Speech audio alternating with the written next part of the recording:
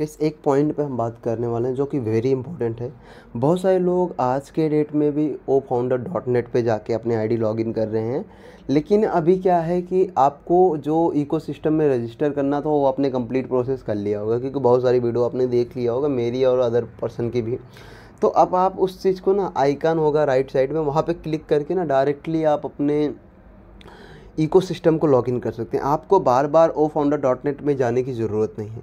तो ये चीज़ें आप ध्यान रखिए, ये सारी चीज़ों को आप करते रहिए, क्योंकि देखो, रीज़न है ना कि कंपनी से आप धीरे धीरे करके आपको स्टेप बाय स्टेप अपडेट मिलेंगे।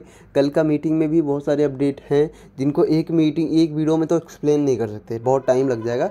लेकिन आने वाले टाइम पे आपको सारी, जितनी भी बातें हुई हैं सभी मीटिंग की, आपको यहाँ सीरियल वाइज सीरियल आपको अपडेट दिया जाएगा। ठीक है?